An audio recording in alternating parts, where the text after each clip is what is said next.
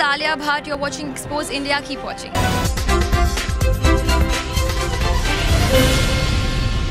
महाराष्ट्र के पालघर में गुरुवार की रात भीषण आग लग गई तारापुर के एमआईडीसी परिसर में एक केमिकल फैक्ट्री का बैलर फटने से आग लग गई बताया जा रहा है कि विस्फोट इतना तेज था कि उसकी आवाज कई किलोमीटर दूर तक सुनाई दी इस भीषण आग में अब तक तीन लोगों के मारे जाने की खबर है और तेरह लोग घायल बताए जा रहे हैं वही मौके पर पहुंची वही मौके पर पहुंची फायर ब्रिगेड की गाड़ियों ने आग पर काबू पाया परंपरा को आगे बढ़ाने का संकल्प है हमारा क्योंकि आपकी उम्मीद पर टिका है परिवार हमारा अमर भारतीय एक उम्मीद जज्बा बुलंद हौसलों का जज्बा भारत के निर्माण का